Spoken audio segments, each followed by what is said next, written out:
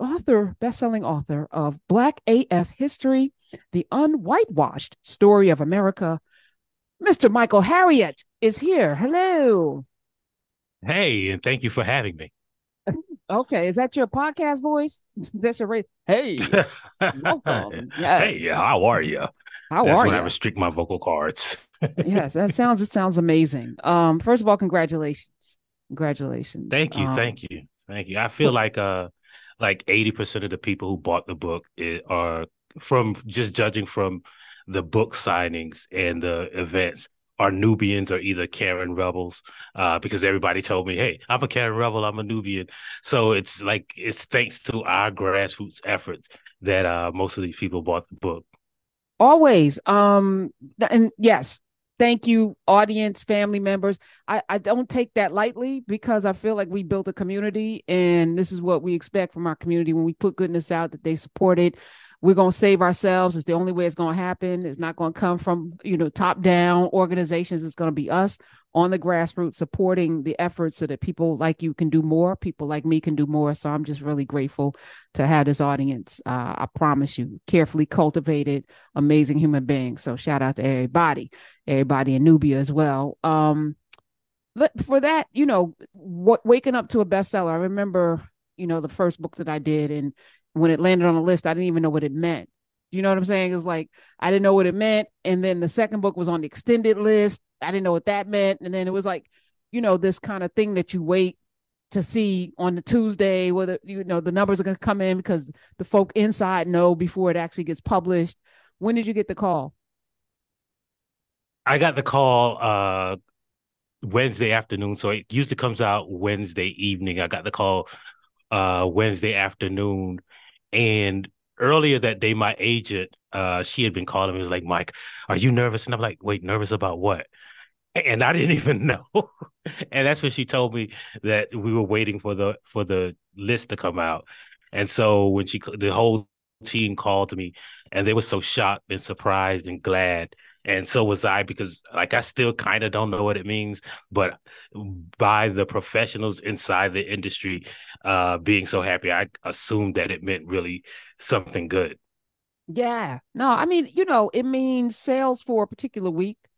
And it depends on what else came out that particular week and in in your same category. Um, you're in a category with uh, the great Walter Isaacson, who did a book with uh, Steve Jobs and like everybody. He's got a book out right now about Elon Musk. I, um, I'm debating on whether I should read it. Um, you're on the list with Astor. We were just talking about this book, uh, Anderson Cooper's book. We were talking about it because CBS Sunday Morning just did this whole thing on the Astors, the criminal, horrible ass family. You know, one of the founders of capitalism in America. Uh, Mark Levin's book is number one, but I think it has a little uh cross next to it because what people don't yeah. know, right? There's a dagger because people like Mark Levin, who uh, he has an amazing, uh, huge audience and following. People don't know. I think he's done 11 books. All of them have sold over a million copies. People don't know that. They don't know that he all of his books have been on the bestsellers list, and it's because his audience that uh the same people that followed uh Rush Limbaugh, the same people that love Donald Trump. That's his audience. They have conventions and conferences. And so there are people that buy maybe 20, 30,000 copies of the book and then give them away at different events. But that counts, right? I mean, that's a bestseller. Right. But it's it's you know, it's not like yours where individuals I mean, well, maybe let me ask, did you have a major corporation purchase like 20, 30,000 copies of Black AF history and give them away at the No. NAACP conference or something or the, to the Congressional Black Cau- Cau- Caucus? Did they give it away? I wish uh, that would have happened, but no, I didn't. As a matter of fact, what's interesting and why I brought up the Karen rebels and Nubians at the beginning is like I didn't have any of the traditions. Like I didn't have an uh, op-ed in the New York Times. Um, they pitched that, and I was like, "Nah, like black people got it." And they were saying, "Well, how about the the white?" I was like, "Nah, black people got it." And so I didn't go on any of the daytime shows or the nighttime shows. I went on Joy Reid and that's it. So it was really a grassroots kind of people who know me. And the interesting thing was, so when I did the book tour, I told them that I only wanted to do independent and black owned bookstores. And so what was interesting about that is when I went to the black owned bookstores, they would always have enough copies. Uh, they weren't surprised by the crowds. Some of the black owned bookstores wouldn't have it in their bookstores because they knew there wouldn't be enough space. And the white owned bookstores always ran out of books. Like, I don't think they knew that black people were waiting for this book. So they'd run out of books. Uh, in Atlanta, we ran out of books. In Atlanta, um, in Charleston, uh, they were grabbing them out of the the windows. So it was it was interesting to see that you could see from different uh, you know like data points that the white people really didn't expect or know what this book was going to do, and it was just like a bunch of black people buying it. So let me ask you, um, I, I'm in season two of Top Boy, and uh, I just went back and watched the final season of Godfather of Harlem. I've I loved thoroughly John Singleton, Snowfall, and I've been eh, and I'm questioning, you know, from Scarface on to you know our fascination with these criminals, you know, Denzel, you know, playing Frank Lucas, you know, you we we're rooting for them. Like and I, Top Boy, I'm rooting for everybody. And I was like, this is such a brilliantly written piece because every killer and gangster, there's a backstory that makes you go, oh, you know, he's got to raise his brothers, or oh, like he did something really good in Jamaica. Who am I supposed to? Am I supposed to not like? I like both of them. I want them both to win, but they're selling drugs to the community, so they're sowing bad seeds. Like, oh my goodness and then you listen to our music and it's all of this debauchery and and then then we look at the Astors in your first uh chapter one of your first in, introduction you talk about the the let me let me give the exact thing um not earth wind in america. You you write about the criminals. You know you basically you know it's like this country was founded by rapists. Was it rapists kill drug cra- oh it's on your cover. Drug smugglers human traffickers you know. Did America give us this the aspiration to, you know, do these illicit things and then build a criminal justice system so that only certain people could get away with it? As we see Trump in court right now trying to fight for his um, financial life. What are your thoughts on that, Michael Harriot? Yeah, so one of the things about America that makes it so different is that America is not a country of well, I mean, there are natives here, but the people in America came here and uh, stole the land, for better words. One of the quotes that I say is the only difference between a burglar and a settler is who writes the police report. Uh, and that we are a country of burglars, right? Um, if the white people who came here did not write the history, we would call it an invasion. Right? Like that is the definition of an invasion. And that's what I kind of wanted to do with this book is to to there are books about black history of numerous as we both know from black people's perspective.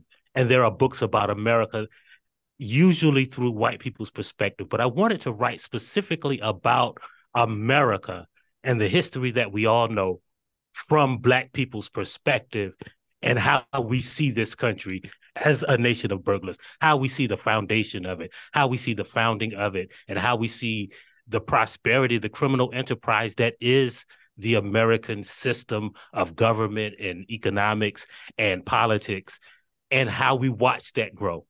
Mm. Michael Harriot is here, uh, best-selling author, Black AF history. He's got a podcast, Drapetomania, which is uh, quite unique in the in the acting and the way in which uh it is presented very different but you know to your point making a conscious decision to go to black owned bookstores and independent bookstores to do your book tour and not doing the quote unquote big big uh platforms you said that the white stores weren't ready and i'm going to ask this question of everyone listening and I've said this because I know the answer, so it's a little rhetorical. We live in a world through a lens. We're going to talk about language today with Tasha Austin. We live in a world where there's a a standard that we're all supposed to live up to, but it's also a myth. And in this standard, many of us fold and contort ourselves to fit this standard, which means that most people don't know each other. Well, let me correct that. Most so-called white folk don't know most so-called black people in terms of culture, right? What do we do with that? And what do we do with those who try so hard to fit into this standard that they forget who they are as well? They didn't know you. They didn't know the power that you came to the table with. I remember, you know, as a publisher arguing with folk about something, they're going to argue with me about my own people you know, but they got the purse strings. So you usually have to capitulate to the people with the purse strings, right? So you usually have to bow to them, and you didn't. So yes, all of that. They gave you a check, but you were like, no, we're going to do it this way. And number seven on the New York Times bestsellers list. So you're right. Now they have to listen to you. But what about this not knowing us? Because I feel like that's part of the the main problem that we have in this country is that folk think they know people in power with money, and as a result, they make legislation and policies that impact all of us without even having a foundational knowledge of the people that you're quote unquote governing. Yeah, I, I think that is correct. I would also argue that they don't know each other. White people generally don't know much about white people. And I think like a lot of this anti-CRT, anti-wokeness is an attempt to keep the history of whiteness concealed right? So they will teach us that we saying we shall overcome during the civil rights movement, but not about what we overcame, right? And so, in a sense, the not knowing each other is a really a thing that is about not knowing whiteness and what white people did and what white people how they got their economic advantage, their political advantage, and their social advantage by creating whiteness. And that in turn makes them believe that, for instance, if we just focused on education and if we just, you know, did the things that we think that white people did, we would get rid of these disparities. When the truth is that they didn't do any of that stuff either. And back to your point, that assimilating and doing what they say will not work it will not erase these things. It will not undo the discrimination. It will not undo the disparities. You know, like when we said, for instance, like they say, well, if black people just focused on education, and one of the examples that I use is that black people came to this country without a language and without, you know, knowing what this country entailed their only purpose was to have their labor extracted and their intellectual property extracted and then for them to die. And we said, well, we got to learn, first of all, the language and how to read and write it. And we did it so well that they had to make laws to ban us from doing it. They said that we will kill you if you keep doing that so well. So, and then wait, wait, so wait, after... pause, pause. I'm sorry, just because eh, we're going to talk later with Tasha Austin about language but most of the Africans that came from Africa to Brazil, then to Barbados, then to South Carolina, your port of entry, m- mine as well. We both have roots there, and then spread out into the greater thing that they now call United States of America. Came speaking maybe two languages, a dialect. You know, they they they had multiple languages in their mouths because they were trading right. with their neighbors, and to come here to not speak English without being taught the phonics or anything, learned English, learned how to write to the point that they had to create laws saying if you teach a, a an enslaved person or a black person how to read and write, you could be punished. And if that black person is caught reading and writing, they probably would be killed. They made laws. What right. was the fear? In a what society, was, was, go ahead. In a society, one where most of the white in the South, most of the white people were illiterate, right? And the fear was that one, the knowledge and the communication would upend the system that they created. And it wasn't just during slavery, remember, right? After after emancipation, the black codes, for for instance, forbade white people from apprenticing under black people, right? It it, it forbade uh it, it forbade things like they one of the interesting things is when you go to an HBCU and there's always an old building on the campus that was built in 1904 or something like that. And it'll always say, well, the first structure was burned down by a white mob. Uh, all of the black newspapers that were burned by white mobs that so we have no archives of them and then after even during the civil right what we call the civil rights movement right they we allowed our, our children to go to school where they would be spat at and called names to get an equal education the black people of the 1868 south carolina charleston de- delegation created what we know as the public education system in America. And the idea that Black people do not value education when in this country, there's never been a nanosecond where we have had access to an equal education is historically inaccurate and absurd on its face. And but because people do not know white history, they believe that, well, if y'all just study a little bit more, y'all will have an equal education, right? When in fact, all of like states like South Carolina and Mississippi, where they were majority white, South Carolina was majority black until 1940 census. They were paying for the economic opportunity for white people. They couldn't attend the schools they were paying for, that their textiles were being used for. They couldn't attend the colleges they could, even the HBCUs were land grant colleges made from federal money, so they didn't use black state tax dollars to build those HBCUs. They used black state taxpayers' dollars to build the white institutions. All of mm. that economic and generational opportunity is opportunity that was taken from us and given to white people. They do not know their history of whiteness and white people which is why we have some of these narratives that are being perpetuated in history and society in the law and in education. Michael harriot is here uh 866-801-8255 we had a drapetomania listening party uh in nubia a few weeks back and um again it's all about unwashed history you know coming through unwhitewashed let me say that uh, history in both the podcast and now Black AF history, uh, the unwhitewashed story of America, New York Times bestseller, right now. Um, you know, as you're as you're talking about that, I'm I'm also very clear, Michael, that they don't want to know. They're very comfortable with the lie. The lie feels good. The lie perpetuates the myth that they that they want to give to their children and grandchildren. It's almost like a gift. It's almost like the Santa Claus myth. You you want to keep that going as long as possible because it brings joy and validation.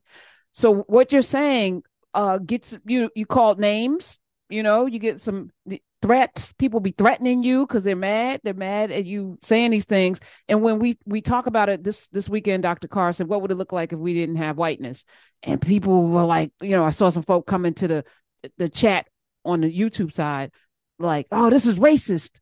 You know it was like to explore a made up construct is racist? Like we can't have a conversation. And then i keep asking this question why do you want to be wedded to something that is so aligned with the oppression of other people? Why is that something that you're joyful about? Why not just take it off and put it over there where it belongs? What do you think is the resistance to doing that michael Harriot?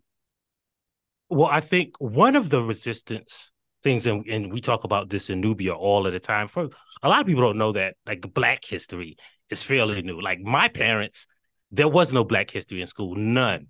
Right, like they didn't learn about slavery. Like the Black history and the Black Studies movement is mostly a, a movement nationwide that emerged in the late '60s, early '70s. So the people who are teaching the people who teach history didn't know anything about Black history. So that's part. So it sounds like a lie when everything that you've learned didn't include the things that we know and we are saying.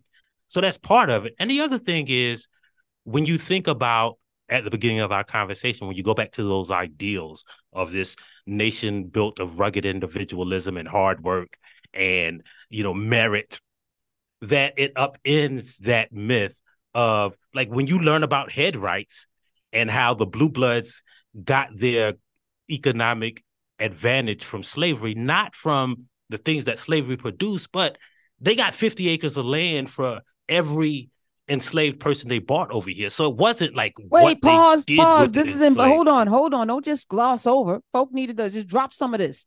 The rest you got to get in the book. And you can listen to the audio. A lot of people in Nubia right now said the audio book. You even read the foot, footnotes. I got the physical book. Uh, but the audio, however you get it, you're you, it's all black AF history. So folk came here for every person they own. What happened, Michael?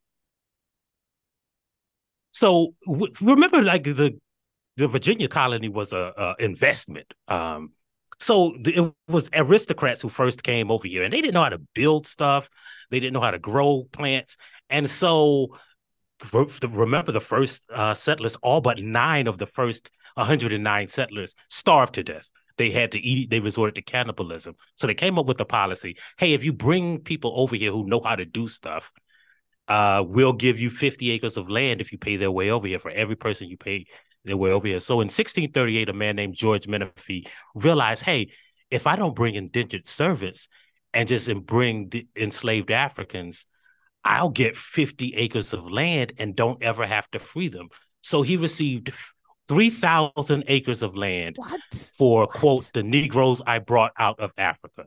The headright boom burst right? And South Carolina was created out of headrights. Wait, and hold so on, hold on, wait, was... hold on, stop. You're going too fast, Michael Harriot, because this needs to sit in people's souls right now.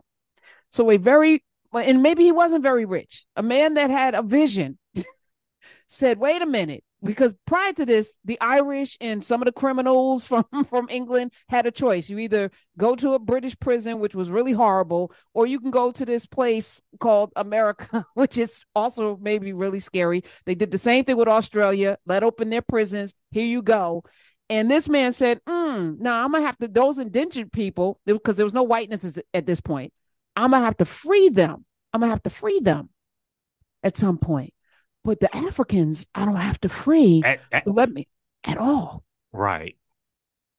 After seven years, the indigent servants got their freedom, which is where we got the concept of seven years your debts fall off. Like that, we're still on that economic system, which is why Equifax, you know, your your stuff falls off of Equifax credit report after seven years. It's from that go dates back to the Bible. Um, and so that principle was upended by enslaved people out of Africa who were brought over here. They didn't ever have to free them. They couldn't read the contracts if they even had a contract. They didn't.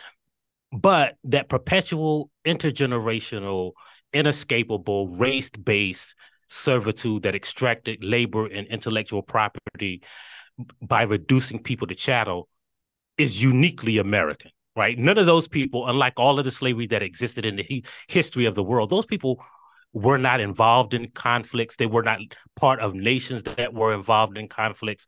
Most of them were just people who were living their lives and enslaved specifically for a cap for a capitalist purpose.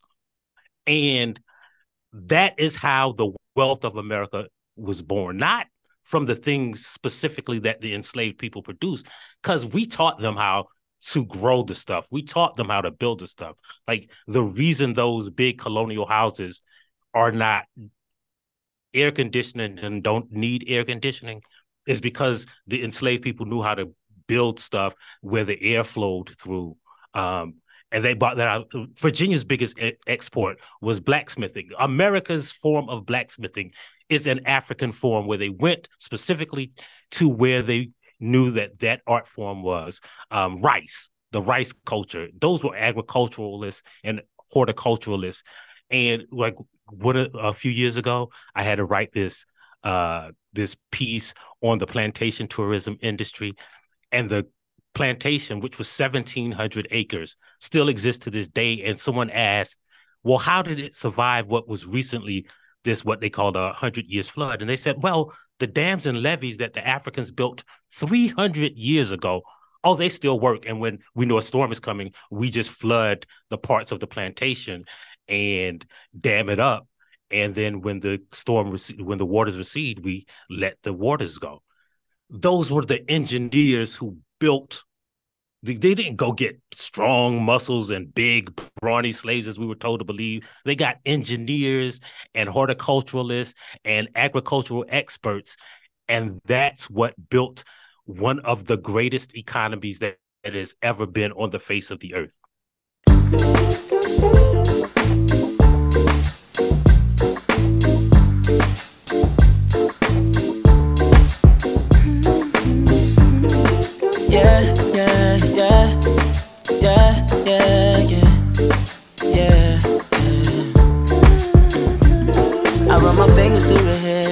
She smiles and says that she loves me. Isn't it lovely when the one who loves one?